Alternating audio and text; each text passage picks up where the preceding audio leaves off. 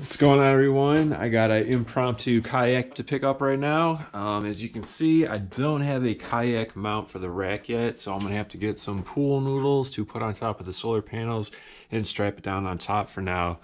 I'm probably gonna remove this and put the J mount for the roof rack to mount the kayak on the side.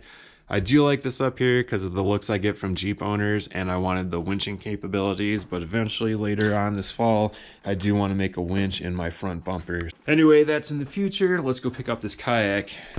Almost forgot, I'm gonna need a knife to cut up that pool noodle and then some rope to strap it down.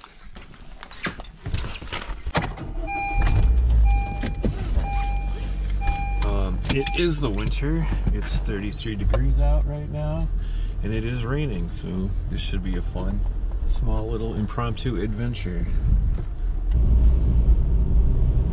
Almost to our destination.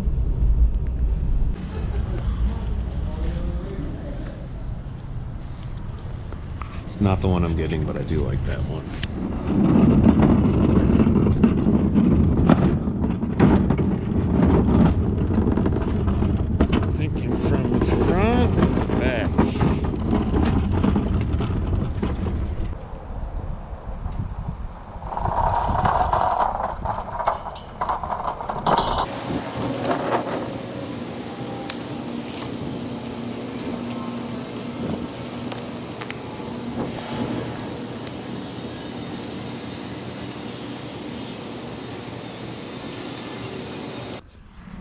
just in time for all the rain to start coming down again. I guess you could say 10 feet is pretty big. Oh my gosh.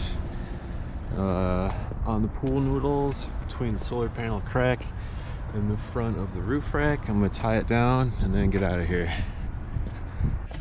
Well, I got one strap on. I'm trying to put the other strap on and it decided to start raining. I wouldn't call it a downpour, but it is a very heavy, consistent mist. So I'm put the rain poncho on and get the rest of this strap down. Alright, I think we're secure. Got the hardware store rope and then one more thicker rope. And then tied down again on the hitch.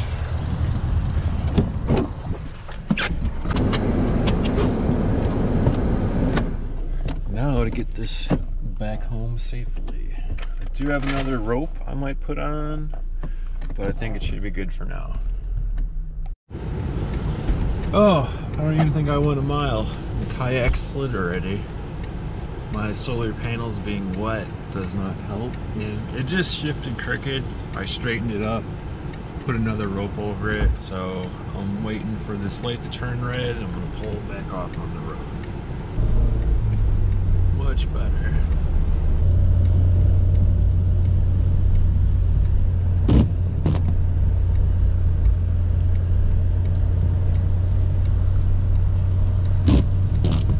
That's stop number two.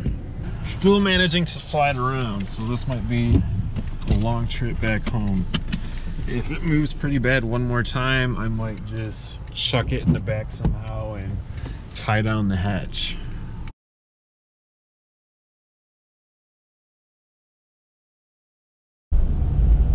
Not the speed that's killing me it's when I go to turn uh, just the water on the solar panel those pool noodles just slide right over. And I jinx myself but we've been smooth sailing for the last couple miles. We're uh, almost headed into town so the traffic should slow down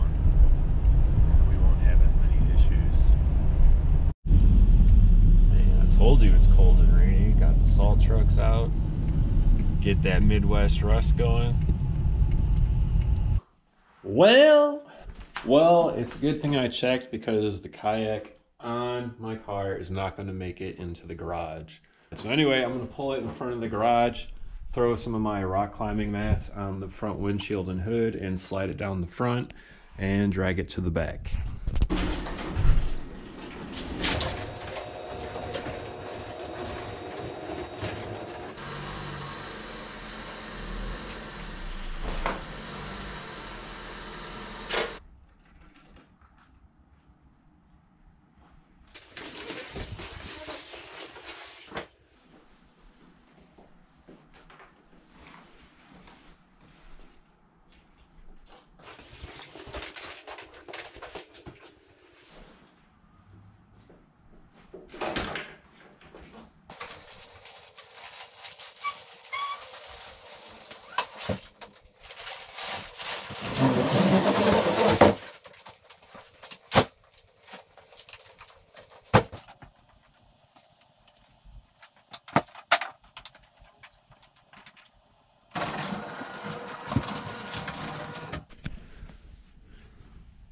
Just when I thought my garage was all clean, now I gotta find room for this bad boy.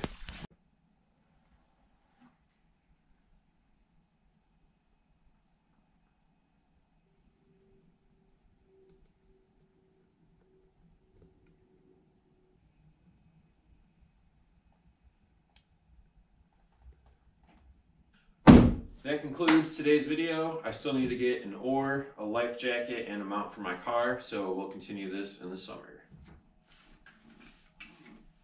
Is that bad technique?